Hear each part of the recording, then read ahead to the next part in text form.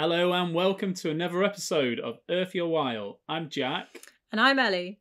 This is the podcast where we chat to industry experts and sustainable business leaders as we try to uncover the easiest and most effective ways to make your business better for the planet.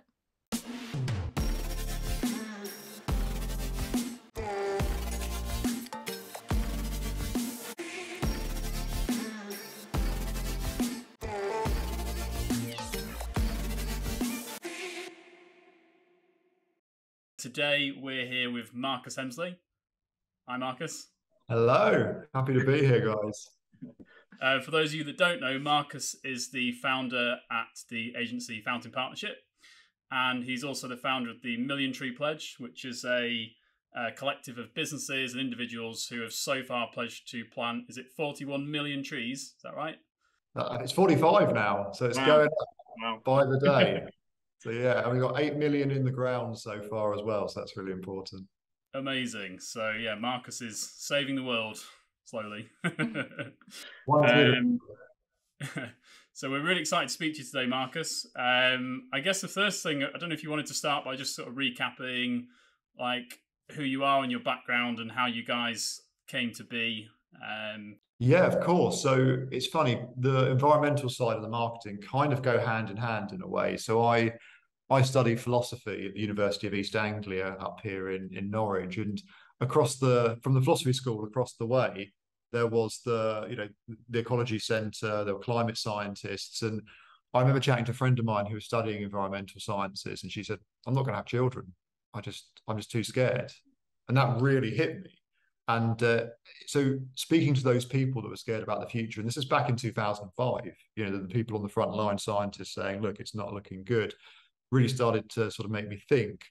And interestingly enough, my lecturer at the time, a guy called Dr. Rupert Read, was running to be MEP for the East of England for the Green Party. And I said, well, Rupert, I'd, I'd love to help you out, you know, with your campaigning. You know, what can I do? He said, what are your skill sets? And strangely enough, I'd, I'd come across uh, digital marketing. I always wanted to set up my own business, and I've been going to all these personal development seminars. And I went to one called the World Internet Summit, and I'd learned all about you know, Google AdWords and I was doing keyword research and stuff, which probably sounds quite boring for a lot of your listeners. And it was boring for lots of my housemates as well at uni, but I found it interesting.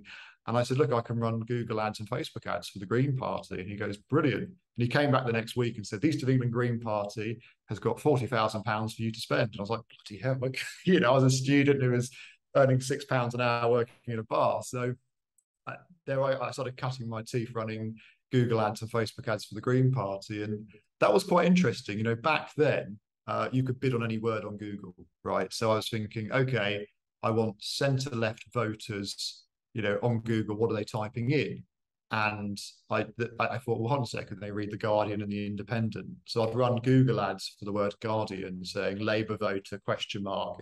Here's why you should never vote um, Labour again and they'd click to it and there'd be a video of the comedian Mark Thomas, who was quite popular at the time, with Rupert saying, here's why you should vote Green. So right at the very beginning, I was getting involved with, uh, yeah, green politics um, and, and, digital marketing. In 2009, when I graduated, graduated 2008, I started Fountain in 2009. Obviously, I was picking up work from various types of companies, but I always tried to move towards renewable energy. So working with uh, solar panel installers, heat pump installers, etc and you know that that was going really well. Um, it was quite funny at the time. I had a bit of imposter syndrome. You know, I was like, who's gonna, you know, like listen to me? I'm just a graduate who's been playing around with this polit- these AdWords and stuff politically. So I offered a service whereby um, I just said, don't pay me unless I can get you a return on investment. So it was very much a sort of like you know performance based approach, and that's uh, a large part of what Fountain does today. Um, but it's not all plain sailing, if I'm being really honest. I actually lost my way a bit. I got really into growing the business and we took on corporate clients. And I kind of forgot a bit about, you know, you know doing stuff for climate in, in a funny way. I was a, a Green Party councillor for four years, but around sort of 2015, 16, I was so focused on the business, I kind of lost my ethics a little bit, if I'm being honest. And we took on a, a sports car company. I won't say who it is, but there's this, you know, a car company that sells sports cars. And I remember that we were we were running a campaign for them and it wasn't going perfectly. So they called me in to help with a strategy. And there's an expression in America where they say, like, you know, I left it all out on the field. But what I did is I, I turned up and I did a really put all my energy into really helping them sell more sports cars. And I was exhausted. And I remember walking out on my lunch break and I walked through the city centre and there was some children striking for the climate. And I just burst into tears because I realized like, what am I doing? I'm using my energy to do something that's, you know, at that point it was like a second awakening for me. I was like, no, this is it. Like we're not, we're getting rid of that client and we're only going to focus on, you know, digital for good, ideally. And that that sort of spurred off my my journey. And then obviously a few years ago, set up the Million Tree Pledge. So that's a whistle stop tour of me. Hopefully that's I actually, obviously, we've spoken on a few occasions, which has been nice. So I've got to know you a tiny bit. And I always notice you seem really, really wise and composed. What's that about, and how do I how do I get like that? Because that's how I would like to be. and I'm like, oh, that should be easy. And then every day is just like super intense, blah blah blah blah. And then I speak to someone like you, and I'm like, how does he do that? what's what's the secret? Okay, so it, you catch me at my best moments, maybe, but no, if I'm I'm being honest, so my mum was a C, is a CBT therapist. She's retired now.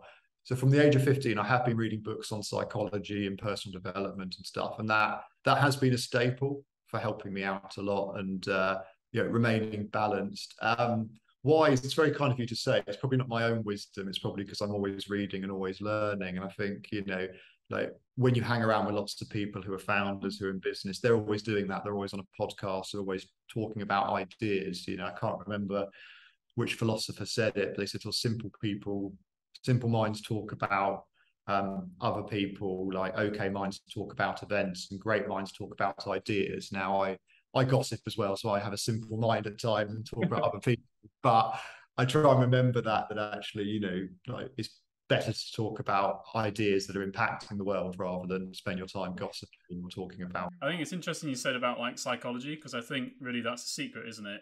I think any any uh, business or organization that becomes successful or really successful, which is obviously, I mean, someone like me or someone like you, that's kind of how we think. I think at the end of the day, they just they just become really good at communicating, really mm. good communicators. Um, so yeah, and I suppose that's more important for you because you're in that space of marketing and you know building brands, scaling. Absolutely, everything's communication, right? It doesn't really matter what I what I think and say; it's how you hear it. You know, and every message you put out is about how the person receives it.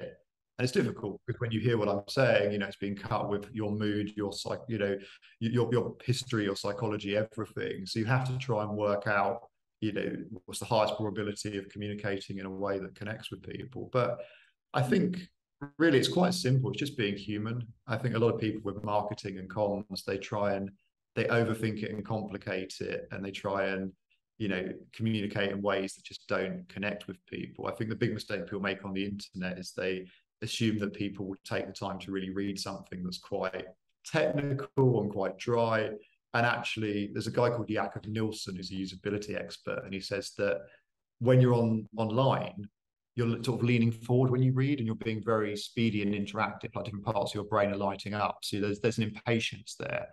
When you're reading a book, you're leaning back, and you're more likely to to take in the words. But people don't think about that. Um, they, they they look at it as if like, oh, you know, everyone's going to take my time to read it. There's a a brilliant quote from a marketing book called Bored to Brave, which says that most marketeers think they sound like Han Solo, but actually they sound like C3PO. That's me. yeah. I did um I listened to a, a TED talk um and there's a guy talking he was talking about imagine if you were like in a in a it's obviously a marketer, imagine if you were in a party uh, in a room full of people and you just like stood up stood up on a table and you just said, you know, you should you should talk to me because I'm amazing and I'm really funny and I can do and he said, imagine if that's what you did at a party, it wouldn't work. And he said, if you're a brand, imagine how you would communicate with people at a party if you were having fun, if you were trying to make a connection. And that's that's the secret to or to content really, to how to communicate. Um, so 100%. The, the mantra I have with, with, with content is uh, is is is serve, don't sell. Yeah, serving people and be helping them.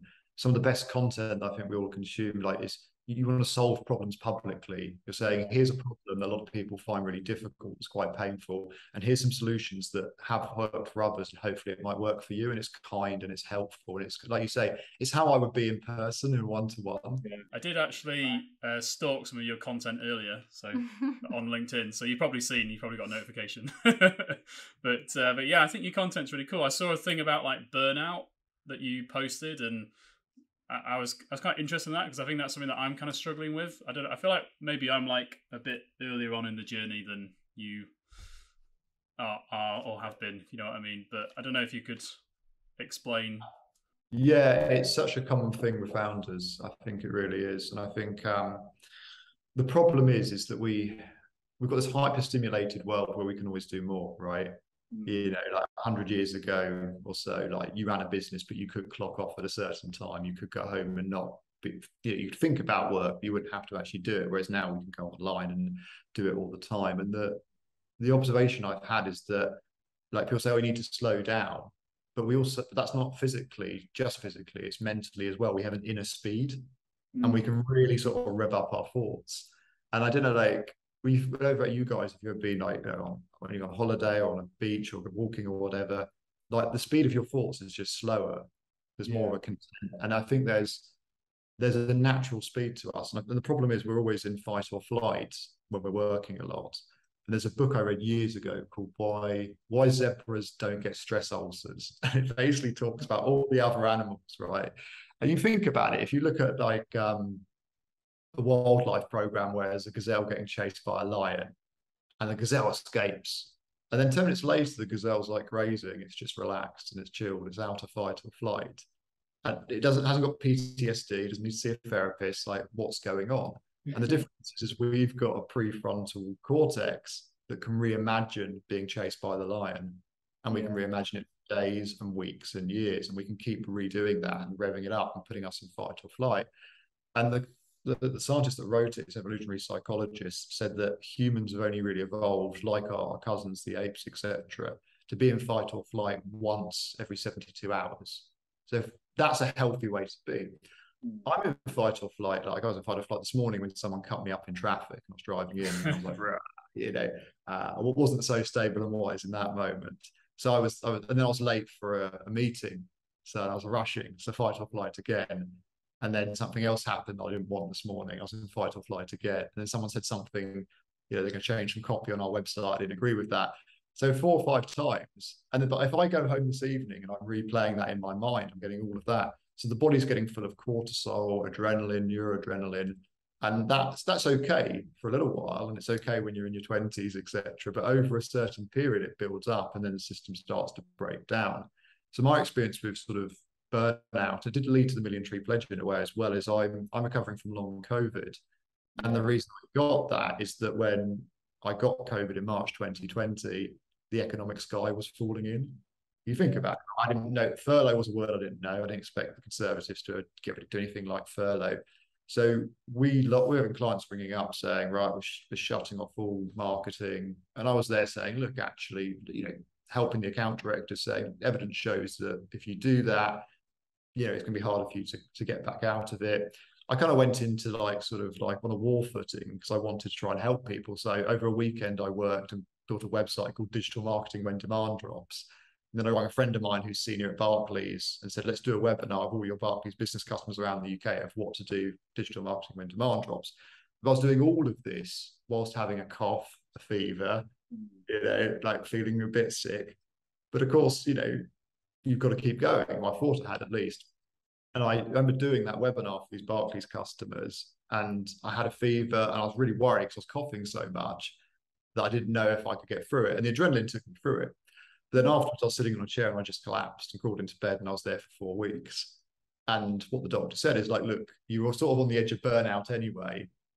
And then a virus came and pushed you over the edge. And you've got what now what's called post viral fatigue and then that transpired. They now call it long COVID. But I've I've met a number of people in the last couple of years who have been business owners who have been really really pushing it, yeah. and athletes as well. It's normally business owners or you know or people very high in their career really pushing themselves to the limit.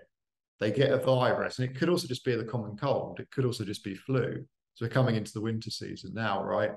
and you've got to be so careful that it's just a convergence of problems. Your body's, you know, your immune system's low because it's, you know, you're really stressed. Like stress does lower the immune system.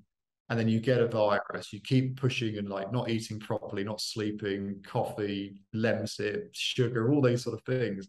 And it all converges to just a breakdown. And then you get stuck. And what, what I mean when I said it, it ties in with the million tree pledge is when I was stuck in bed struggling to breathe. That's when I thought I need a distraction.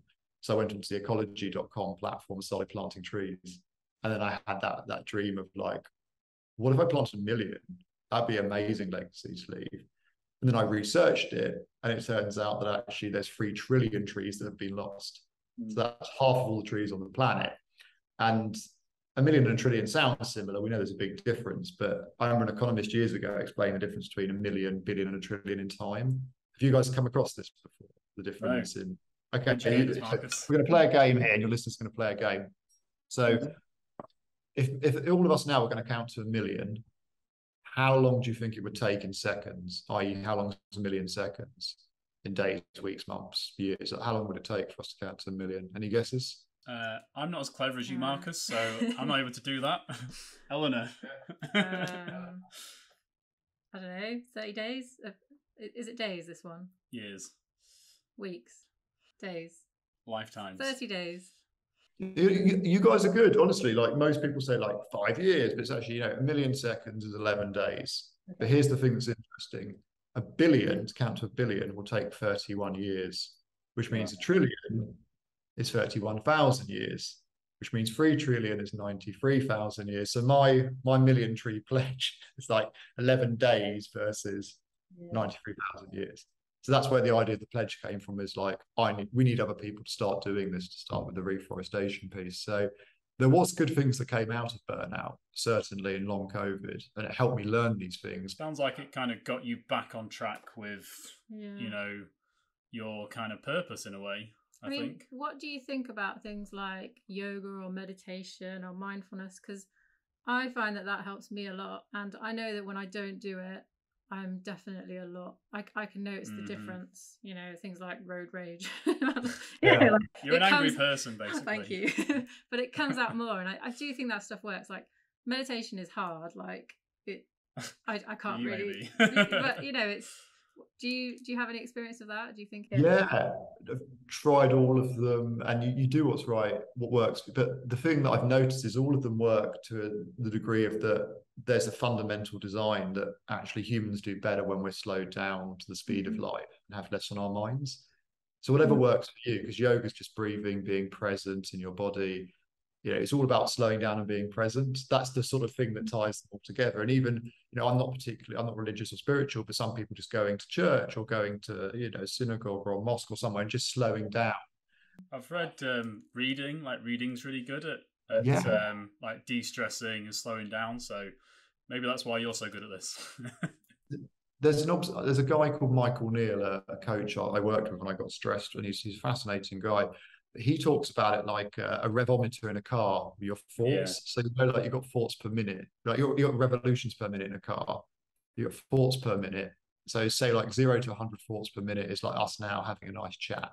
You know, 100 to 200 thoughts per minute is, you know, me rushing around the office and then like someone's like, you know, calling me and then this and then like like 200, 300 thoughts per minute is I'm really late for a meeting. I'm coming in, like, it's like falling over, like someone shouts at me, or like, like, all these things are happening. I'm really worried and thinking about it. It's all going wrong. You, we've all had those moments. Yeah. But what do you do when you've got you've been over revving your car and the engine's too hot? How do you cool it down? Yeah. Hmm. Take your foot off the accelerator. Like in statistics, they call it reverting back to the mean. And the yeah. real I've realized is our default is is well-being right not like bliss and like ecstasy and all the rest of it but you know to, I, you know those, those people have got I don't know if you guys have got kids but I've got an eight-year-old son but you notice that with children right young children their default when they wake up is happy they're and content you know and then they get upset and they need feeding or they fall over but their ability to just like let crappy thinking go and just slow down and be present they're enjoying life yeah. I think there's a moment I've observed, I don't know if it's true for other people as well, but yeah, when you first wake up and before the brain starts chattering, there's almost a second, if only for a moment, where you're just like, yeah, it's pretty cool being yeah. alive. oh no, I've Yeah. got this to do and I'm late and blah blah blah. Mm. Then you realise it's the thoughts that are taking you away from that. So to your point, Yeah. Eddie, yeah, all of that stuff, meditation, whatever works for you, just try it. The thing I found with meditation is like I end up sort of stressing myself out about not doing it in the right way, and then Yeah. I got a bit competitive with my mum on uh, Headspace. That you know, Oh, yeah. like having these streaks, and like I didn't want to miss a day. And I remember like waking up at like eleven thirty, I'd just gone to bed and sitting up going, "Haven't meditated yet," and like rushing out, realizing that's completely the wrong energy. So Yeah. I think if people, yeah, the thing I've just observed, which seems to be universally true, is we feel better when we're running at the speed of life rather than sped Yeah. up thing. And we just we do better when we have less in our mind, and it's okay. And the way we have less in our mind is we just you know just slow down and just wait. And there's a natural sort of system that lets us sort of drop back in, and whether it's going for a walk or yoga or any stuff like that helps. And find what's right for you.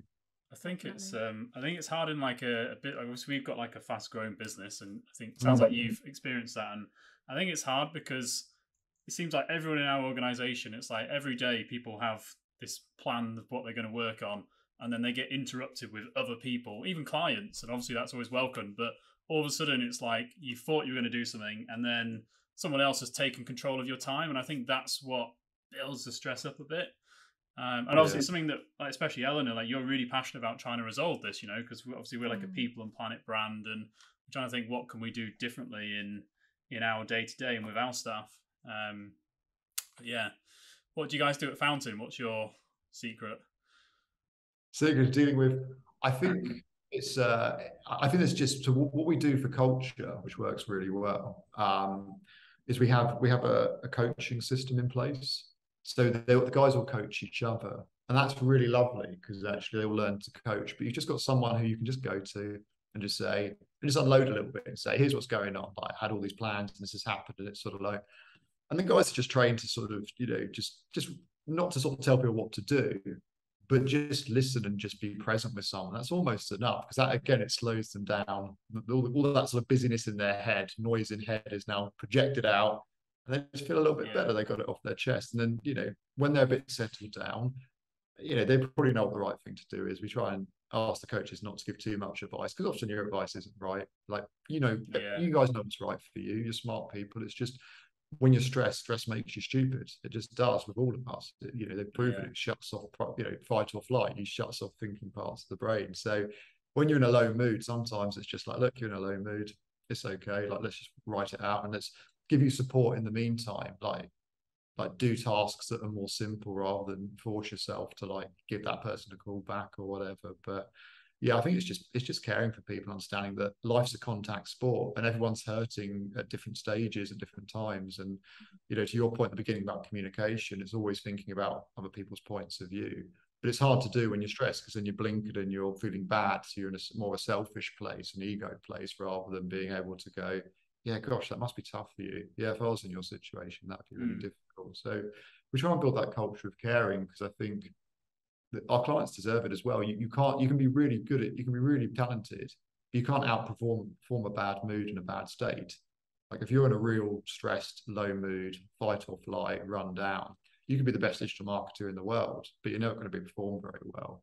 So that's I think why culture is so important. And plus, you know, life's hard enough as it is. You last thing you want is work being a difficult place. Like we when we found it Fountain, I found it with my with, with three other people and they all worked at a in quite a toxic workplace. And Rebecca, my other half, came home one day and she was in tears because the people were shouting at her and stuff, like the boss was really toxic. And I said, That's it, we've had enough. We're going to build a business where no one ever goes home crying.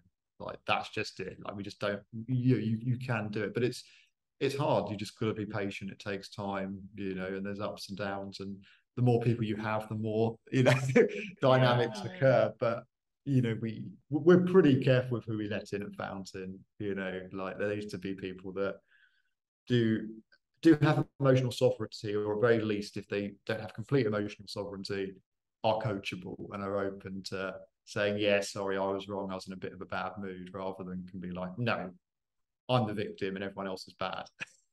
so Mm. don't know that's helpful to people listening, but that's kind of what we do here. So, um, just going back to the Million Tree Pledge. So, can you tell us, like, you know, what gave you that idea? Like, why was it trees? Obviously, it's wanting to help the climate crisis and you know, what was it about a million trees? How how does it all work? Can you explain that? Yeah, absolutely. I think there's an there's an ease with like this is accessible for people to to plant trees through really good charities like Eden Reforestation. I use personally the ecologi.com platform so you can see the trees, but obviously we need to put back all those trees regardless of the climate crisis there's an issue of like biodiversity and everything else but I think the big thing everyone misses about climate change is I think there's a narrative that isn't particularly correct that people have, have bought into of we just need to get to net zero by 2050 and everything will be okay. But of course, that's not true. If you look at the science, if we had got to net zero today, there's still about two and a half trillion tons of CO2 and CO2 equivalents that need to be drawn down for us mm-hmm. to mm. have a habitable planet for sort of decades and centuries on. So my, my, prediction is that you know in the second half of the century, you know, like you see sort of uh, wind turbines and you know not enough unfortunately, but like you know uh, energy pylons and stuff. There'll be loads of like direct air capture machines just sucking it all down. Um, but the technology is not there yet, and we don't know if it ever will be. But I think that's where we're going to have to go. In the interim, you know, you know trees are a great way of drawing down carbon. Um, they're a good medium-term solution. Um, you know, and I think we we all need to be doing that. And the cost per per tree is, you know, anywhere from sort of 10 pence up to like six pounds. So you can pick where it is and so on. So it's it's so important for drawing down. And I think, you know, like I'm looking at my own personal net zero, right? So my house has we've got the air source heat pumps. Um, we're getting solar PVs this year. Obviously, I use, I use Ecotricity for my energy supplier. Um, I've got a hybrid, but the next car I'm going to get is going to be electric. So I'm kind of going through like like businesses do with scope one, two, and three emissions. I'm doing my own personal scope one, two, three emissions. um, but everyone needs to be doing that. But I think the point of the million tree pledge is going way beyond your carbon footprint, right? Like by planting a million trees, Fountain will draw down, you know, 40 like like the equivalent of 40 fountains. Do you know what I mean? Mm-hmm.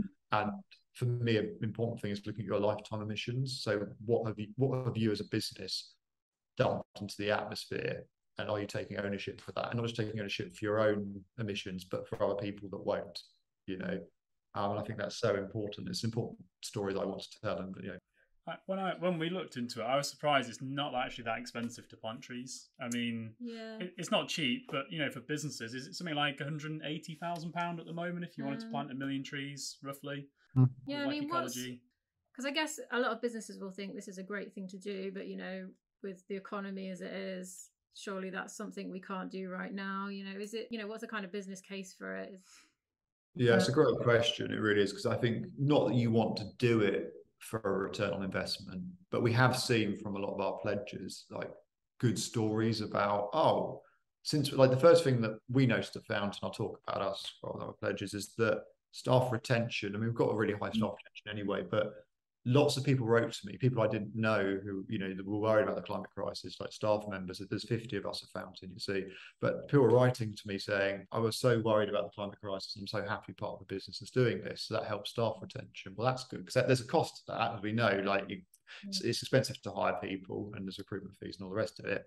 There's then also a client retention piece as well, right? You know, clients really like it and they talk to us, and especially one. So we've got Mitsubishi heat pumps as a client; they love it. You know, they're really excited, and they, we're looking at doing stuff together. So, like, you know, and there's opportunities of that. There's joint PR stuff, and then James Lizards, who's one of our, he's an accountant, he's one of our pledges, said the way he looks at it is it's costing his business maybe 2% of revenue a year because he's doing it over maybe six or seven years. He's like, if me talking about this doesn't attract like-minded customers. To be more than 2% a year i'll be really surprised. And he's actually gathering data to make the clear business case. So i think yeah. you know if you look at it as like i mean there's organizations like 1% for the planet but if you look at it of like well if it's 1 or 2% of my revenue what would need to happen to make more than that back? And is there a high probability of that occurring if i take the pledge given the the positive PR both internally and externally, I'm pretty sure there is. There's an early mover advantage at the minute, you know, because in hopefully in five, ten years' time, there'll be many thousands of pledges and it might not be an exciting thing anymore. But you know, it, it does distinguish you from other people that have just perhaps joined ecologi and are doing just the it's great they are doing the bare minimum, but they're just doing the basic tree planting at fifty pounds a month or whatever. I think. I think one of the nicest things I've seen is like I, the Million Tree Pledge is a really good example. It's like building a real community around it, mm. um, and you know businesses collaborating, and I think that's where they can get some kind of value back. Um, I mean, not that you need value because like ecologi is testament to you know an organization where people literally get nothing tangible for planting trees it's just it's just the kind of the, the feel good of actually doing something positive but i think the community that you built around the million tree pledge i think that's you know that's reason enough for people to get involved um, that's yeah. what business is at the end of the day you're entirely right it's it's so and community is what people want you know we're sort of we're social animals right we want to be around and that's it makes it worthwhile but no, you're entirely right. We have built a lovely community around the Million Tree Pledge. And there's a lovely one around Ecologi. And I've met so many incredible people on this journey on the last sort of 18 months, you, you guys included, right? It's been, it's just a pleasure to meet such amazing, like minded people. And I think at a time when there isn't much hope, it really does give you hope. Yeah. And is it true that if you're a smaller business as well, do you have something where uh, smaller businesses can come together and plant a million trees collectively? I'm just thinking for for those smaller businesses that that can't commit.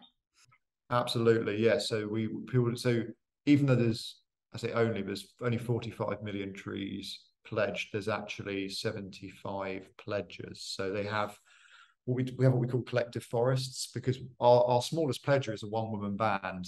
Um, you know, Laura, who's wonderful, and she's you know she's a sole trader, and but she was very bold in the run up to COP last year. She said, right, that's it. She took like most of her savings in her business, about 10 grand or so, took it out and just planted 100,000 trees and said, right, I've done this. Any more sole traders or very small businesses want to join me in doing 100,000 and we'll have a collective forest of 10 people. So we've got, I think we've got four or five of those forests that have individuals that pledge to do 100K um, thousand trees. So, and that's around sort of 10, I think it's closer to 18 grand now because the prices have gone up, but it's more affordable. And and people are doing it over a longer period of time. They don't have to mm. do what Laura did and just do it in one fell swoop. You can do it over, you know, three, four years or whatever. And but you're right, Elliot, it helps it become much more accessible to people. So, uh, how do businesses get involved then if they want to uh, join the Million Tree Pledge? Brilliant. Well, look, they can reach out to me personally. Obviously, I'm always on LinkedIn, as, as, as Jack was saying. Um, but yeah, you can go to milliontreepledge.org and inquire through the website. And yeah, or get in touch with you guys. Hopefully, you'll put them uh, our way as well. So I think yeah, just just just uh, if you know anyone who might be interested, doesn't have to be you know your organisation might not be in the right place to do it right now, but anyone you know, put them our way. I should say the Million Tree Pledge has two parts. It's not just about pledging to plant a million trees and doing it. The second part is finding at least two other pledges, oh, so oh, yeah. it grows exponentially. So you may have done like you know, Krystal Hosting is a brilliant example, wonderful hosting business, and you know, they, they're actually pledged to plant a billion trees now, but they've already done their million. And I think they've got, they've got us one pledger so far. So they still haven't finished their full pledge, even though they've planted a million trees and got us one new member. They need one more to have completed their pledge. So that's a really nice way of doing it as well. Yeah, amazing. Um, so yeah, I think obviously this podcast is all about um, helping businesses to be more sustainable. I guess what we'd like to know is if you had, we might have covered this already, but if you had kind of one piece of advice to give to businesses um, on how to be more sustainable, what what would you say? Oh gosh, one piece. I mean, the probably the quickest thing is just switch to 100% renewable energy provider, right? I know bills are going up, mm-hmm. obviously I'm a big fan of Ecotricity. I think they're brilliant, but there's the good energy as well. You know, go on to which.co.uk and it will, it will rank the best, like the real greenest renewable energy suppliers, not just, you know, the big six that say they're doing a bit of renewable energy. You know, I like I like Ecotricity because they're putting a lot of money, they put all their profits back into building more wind turbines and solar farms. And I think that's really important. So that's probably the quickest thing they could do. Can I put I'll sneak a second one in I'm being Obviously, Ecologi, you know, just start planting trees, buying carbon credits that invest in moving us towards a more sustainable future. And then obviously if you once you get a sense of Ecologi, it's sort of the gateway drug for hopefully Million Tree Pledge. So there mm. you go. I, I keep thinking because obviously we've joined the Million Tree Pledge, and, and obviously your concept of if you join, you have to sign up two new people, which is really clever. I mean, that's how like Uber built such a big business with that kind of thinking. And I kind of feel like if if you're a tiny business and you feel like this is too big a thing for you to do, I kind of feel like you're still a platform. You've still got customers. I mean, we're a Mm. tiny business and we've got probably three and a half thousand customers. So I kind of feel like each person should just be trying to collaborate more with their Mm. clients. You know, because you might not be that powerful, but your you know your customer base might be. Um, So, yeah, I I sit on the BIMA Sustainability Council, and we kind of like we got we got five things from it. So BIMA, sorry, British Interactive Media Association. It's for all the agencies. And we got like five steps that everyone should take, and the fifth one is influence because there's about 400 marketing agencies in that trade body. So all of us have so many customers that are pretty much all of the people that can afford to use a a marketing agency, right? There's just thousands and thousands of them. And if we influence our customers to be doing this sort of thing, or our clients rather, then that makes such a big difference. You're entirely right, Jack. It's sort of like, what can little old me do? But well, no, but you you've got a network that you can mobilize and encourage to take bold action because let's not mess around here. We've got what seven years and uh, three months left to half gl- emissions globally to stay on track to get to it by 2030 we have to have to half it at the minute it's going back up it's going the Yeah. wrong way so we- we're completely failing at everything here as, as, as as a world not the three Yeah. of us obviously We're failed guys. I uh, I actually had a question, Marcus. I wondered um, what what you thought the world was going to be like in ten years' time. Oh Just wanted wow To get your views, your ideas. Where do you think we're heading this time in ten years? Twenty thirty two.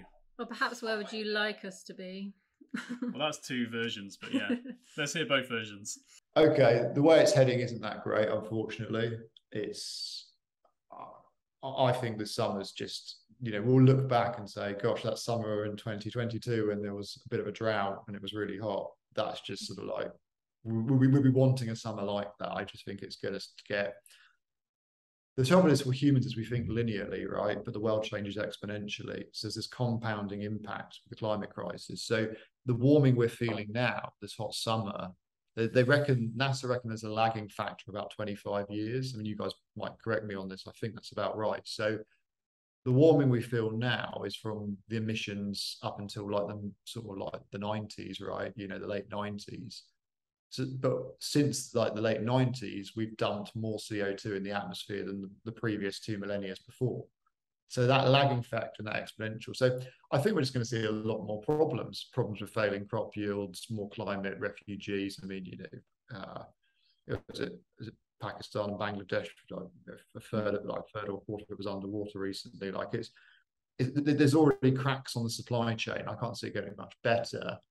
But hopefully there'll be lots of scurrying around because all the climate change denying and all the absurdity of like let's keep drilling for oil in North Sea would have just been squashed. So that's the hopeful side that the current, you know, uh, if I could be political, the current prime minister who uh, is Liz Truss now, uh, who used to work for Shell and whose biggest donor was uh, the chairman of BP and has just let lots more people drill oil.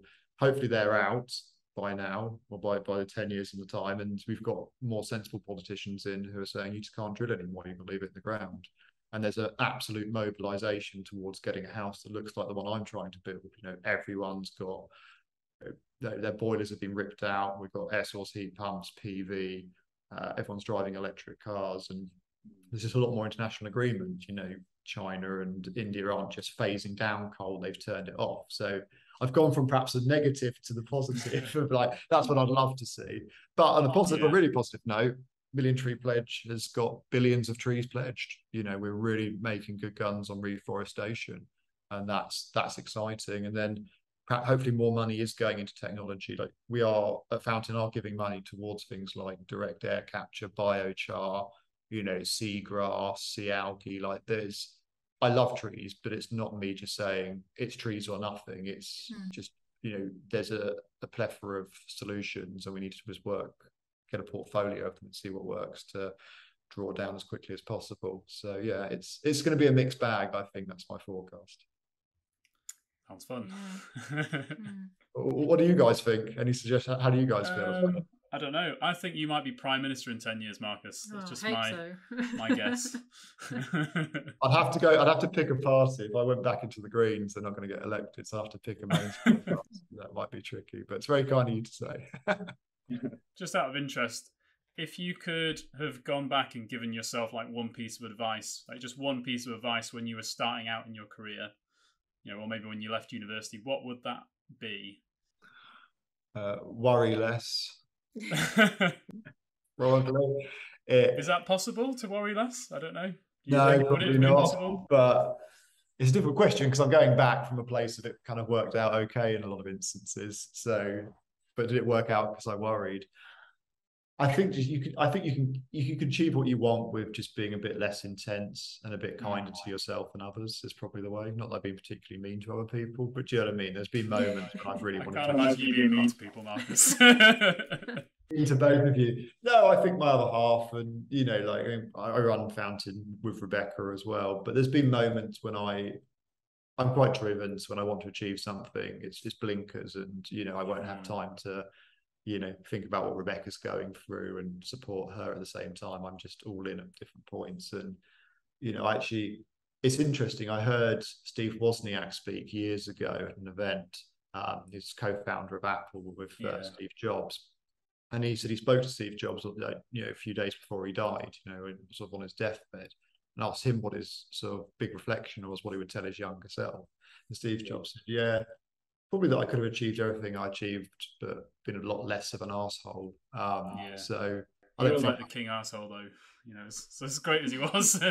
yeah.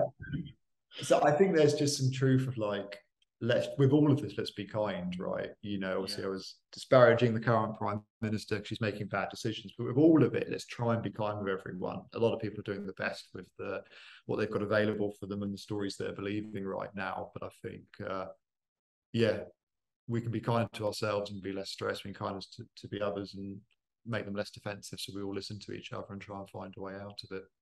Hmm. And and what does it take to to build a company that actually has a positive impact on society? In your opinion, what does it come down to? consistency.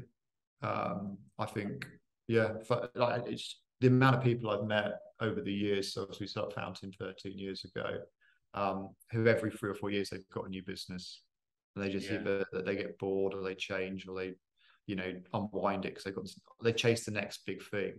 And actually, sometimes it is just it's just turning up every day. You know, um, consistency over intensity every time. You know, um, there's a great quote, isn't there? Failure can't cope with persistence. So it's like with with Fountain, there's two options, right? There always was. It was basically either either Fountain goes bust and and we all, or I die, or like we keep we just keep going. So when it, there were tough moments right beginning, but it's like, well, I'm not going anywhere, and none of the rest of us. So it's basically we just we, we get back up and we try again and just stay consistent. Just keep turning up each day, regardless of how you feel, and just trust it will work out.